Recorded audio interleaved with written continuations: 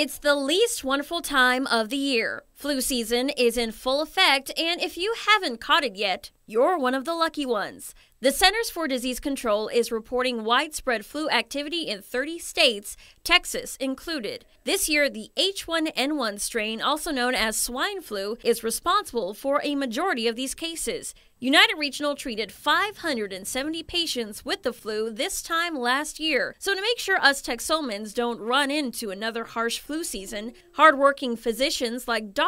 Christopher Godwin are making sure we stay informed. You know, first of all, it's a virus and it kind of tends to mutate every year, so it means it's always changing, and that's why we need to get a new flu vaccine every year to kind of keep up with the mutations. So, really, our goal is to prevent people from getting the virus, but once you have it, uh, no antibiotic's going to cure that. So, what exactly does a flu vaccine do for the body? Well, according to the CDC, it causes antibodies to develop about two weeks after vaccination. These antibodies provide protection against infection with the viruses that are already in the vaccine.